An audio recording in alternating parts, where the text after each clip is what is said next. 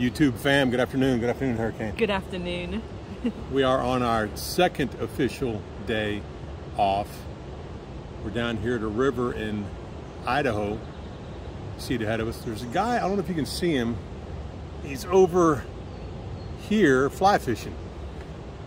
And it looks like he's, it looks like the river goes down about three or four feet in height. Kind of like a sudden drop or something, isn't it? Yeah, yeah. So, But let's talk about having to get stuff done on your days off I know. when we run the way we run. You want to share? yeah, well, even even um, you know, as a woman, there are certain doctors that I have to see that other people don't see, um, and so just trying to book that. That would be men. Yes. I'm trying to be polite. but there there's just things, especially um, at my age and stuff, and, and just, you know, health and wellness really. That's that's pretty much what we're looking at. Just trying to book that in and and um, you know, first of all, you're not you're not a like a regular patient. You don't necessarily live in the area, and and just trying to book appointments for, for anything um, is just real tough, especially when you don't know when you're stopping and how long you're stopping for. But um, we're getting some of those things taken care of, and um, you know, even just something as simple as a yearly dental cleaning. Um, it's very very difficult. I don't know how many times I've had to maybe try to cancel, reschedule, um, you know, things like that. But uh, anyway, and then the toss up between doing that and having time like this, it's it's, Yes. a, it's very very hard. I'm supposed to be Um, sleeping, but now we're in town until uh, probably next Wednesday.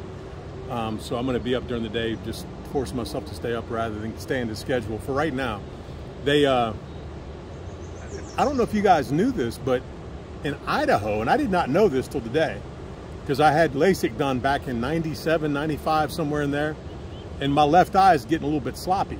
Like my, my right eye is 2020 still, but my left eye is about, well, after today, it's 2070. Did you know in Idaho that as long as one of your eyes is 2020, you can pass your license test? You can go in there and completely fail in the left eye, like in my case, which I would because you got to be 2040 to, to get the license. I could completely fail the left eye, and my right eye would get me the, the license. I didn't. I've never heard of that. So so apparently there's a lot of one eye bandits running around in Idaho. we shouldn't say that. But yeah, I didn't. I didn't know that till the day they, were- they were tuning me up or seeing what they can we do to had no idea, did we? And she said, "Well, you get a license in Idaho. You just need one eye to get a license in Idaho." I'm like, "Ah," but see, we're going to South Dakota. I didn't want to get to South Dakota, and I don't want to get glasses. Number one, if I don't have to, because I haven't worn glasses since '95, and uh, but I didn't want to get to South Dakota, pay a thousand more for LASIK if I had to get it, and then have to because you got to wait either way. Like today was the appointment. Um, they diagnosed everything. Go back to meet the doc on Monday, and then uh, allegedly, if they can, if they can do it, I'll get the surgery on Wednesday. Did you also know that there's a cutoff for LASIK? You've got to be 60 years or younger, or really, really, really good shape at 61. And uh, so they think they can do it. They think they can do the left eye only and tune me back up. It was amazing though how much it dropped just in a matter of a year. All these, you know, all these getting older things because you're like you're know. 40, 43, right? I'm 43. and I'm 42 on Yeah, YouTube. So I mean, I'm starting to get older. You know, things happen. Things happen. power surging and all kinds of things. Power surgeon. but I told her I, I told her we'd come down here to the to the river and hang out. There's like a was 25 mile river walk. Yeah, yeah. There's yeah about 25 miles of a greenbelt uh, river walk all the way around, um, and uh, it goes all the way up and down both sides, and it's it's really beautiful. So. Um, but it's 85 degrees already, and it, it's uh, Yeah. it's a little bit warm, a little bit warm. Yeah. So, but we've got our camp chairs here that I purchased a, a few weeks ago, and we're just sitting here and enjoying in the shade. It's nice and cool in the shade. By the way, if you want a pair of these glasses we've got on, now I- I've got some brown ones coming because I don't like wearing the black on black. But if you like these glasses, there's an affiliate link. Uh, if you buy a pair, you get 20 bucks when you buy your first pair and spend over $50. These were 30 each. Yeah, yeah. But these, let me let me tell you, folks, I've I've, I've used Ray Bans. All the people in the military did when they were flying is you know that, that Tom Cruise crap. I've used all the high tech uh, lenses for triathlons. You use the high tech ones for biking. Uh, yeah, and I, I used uh, Maui Jims for biking. Um, in fact, you you had a pair of Maui Jims. You put these on, and these are just incredible compared These to lenses, compared to that. You know, These lenses are off the frickin' chain. yeah, yeah. They are off the chain. They are they are so clear, so clear.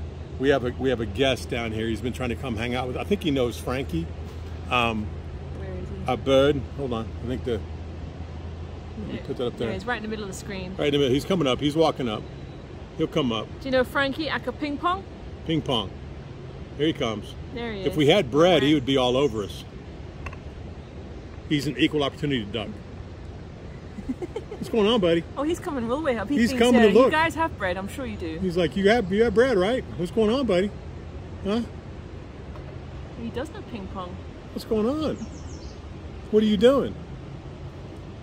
It's like you're supposed to have something for me.